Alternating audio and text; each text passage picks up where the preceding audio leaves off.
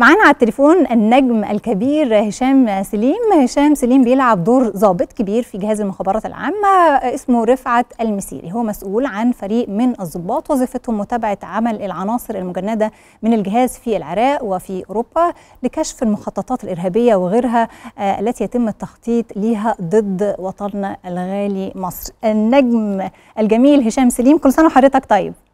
وانت طيبة وصحة وسلامة يا جاسمين ربنا يخليك. فرحانين بيك بدورك وأدائك وطلتك المختلفة دايما المتميزة. والله والله أنا كمان فرحان جدا بالمسلسل ككل. إحنا كلنا شكلنا حلو قوي. ومتهيألي من احسن أحلى الحاجات اللي كل الممثلين عملوها لأن متهيألي برضو ده يرجع للمخرج أحمد علاء الديب وعينه وإصراره على إن إحنا نقدم شخصيات بالطريقة اللي هو شايفها. هل المسلسل ده كونه بيحكي فترة زمنية كلنا يعني عشناها وعاصرناها بكل ما فيها من من أحداث كان سهل بالنسبة لحضرتك إن أنت تجسد الشخصية دي وتعيشها بكل جوارحك زي ما باين لنا كده كمشاهدين؟ هي كل شخصية طبعا ب ب ب بتقريها وفيها كل شخصية هي ما هي غير بني آدم م. إحنا كبني آدمين فينا الجزء الكويس والجزء الصعب مثلا أو الوحش فلما بتقري الشخصية وتحلليها. وتبتدي تشتغل عليها ومع ملاحظات المخرج ومع الأحداث اللي بتحصل والمواقف بتبتدي تعرفي الشخصية دي شكلها إيه.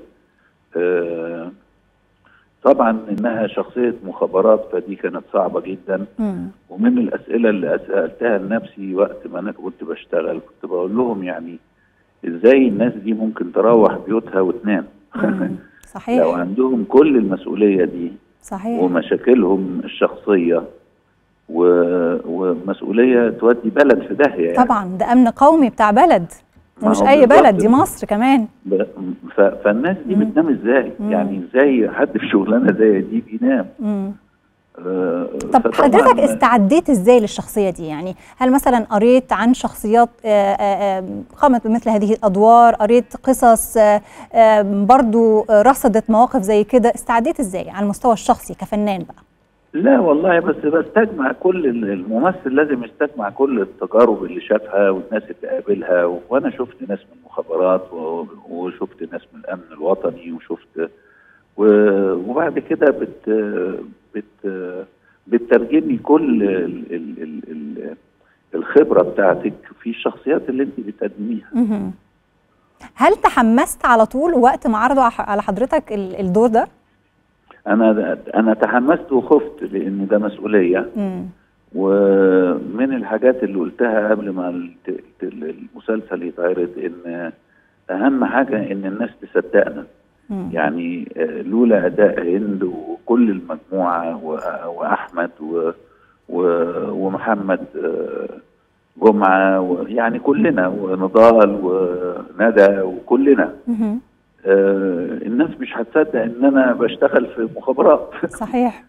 فالمهم كان قوي الناس تصدق والحمد لله إن هم عايشين القصة صح وإن إحنا كلنا متهيألي من أحسن الأدوار اللي عملناها كلنا يعني. هو فعلا أدواركم كلها ممتعة والمسلسل ممتع جدا. بنبقى دايما منتظرين الأحداث في الحلقة القادمة هتكون إيه؟ النجم الكبير هشام سليم. بشكر حضرتك شكرا جزيلا وكل سنة حضرتك طيب.